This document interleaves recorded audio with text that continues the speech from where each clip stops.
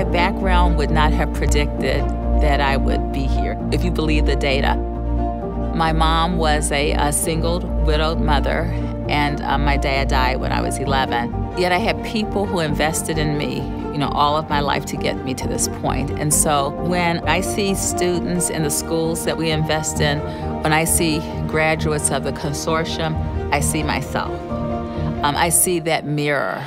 One of my North Stars is Fred Harris. He was one of the first graduates of the consortium to come to 3M, and he was perhaps one of the first people to reflect where I could be. And but for the consortium, I'm not sure there would have been a Fred Harris at 3M. The consortium reflects who we are and where we want to be.